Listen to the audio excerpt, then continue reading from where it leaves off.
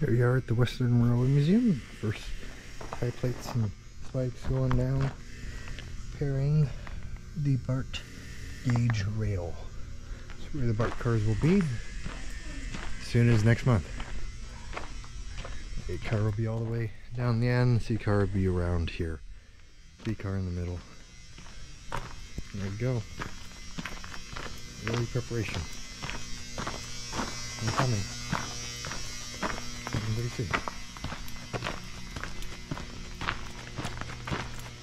Put down a spike every four plates or so. Working on them the rest later.